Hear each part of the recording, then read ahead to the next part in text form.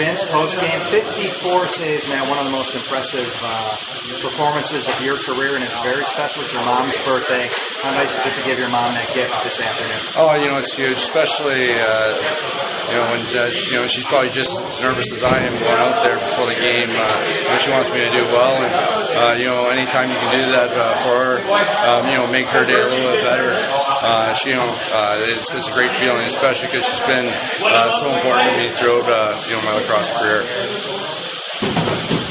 Um, can you talk about how important this win is, not only being over Buffalo, but putting you guys in second place in the division?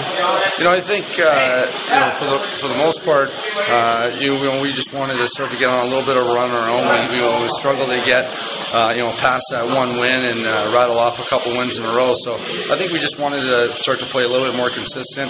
And anytime you're able to beat a, a division rival, especially uh, Buffalo at home, uh, it's a huge game. And you know, it, it's great that we have that break, but you know we really want to keep rolling uh, into the second half of the season. Your defense played uh, played well in front of you, kind of clearing bodies out in front.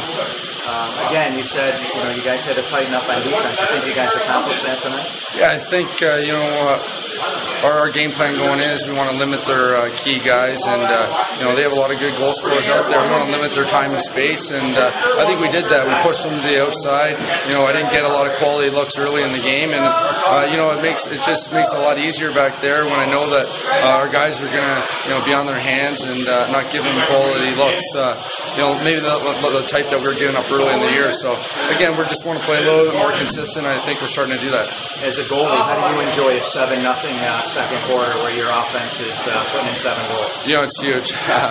you know, I'm just looking up, saying, uh, trying to get the game to keep on ticking a little bit quicker, uh, especially with Buffalo and and, uh, and, the firepower that they have. Uh, you know, they have a lot of good veteran leadership on their team, and you know, I just wanted, you know, it's a little bit easier knowing that in the fourth quarter that we have a little bit of of room, and you know, it takes a little bit of pressure off, especially if they get one or, or two goals, knowing that we still have a little bit of a lead.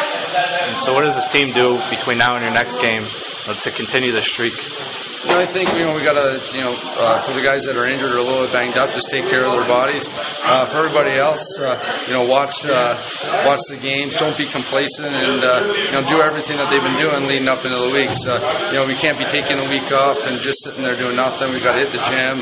You know, pay attention to our nutrition and make sure that we're ready to go when we hit Toronto in, in, two weeks. So I think that's our main focus. you know, making sure that we get our workouts in and we're ready to go and finish off uh, in the second half of the season.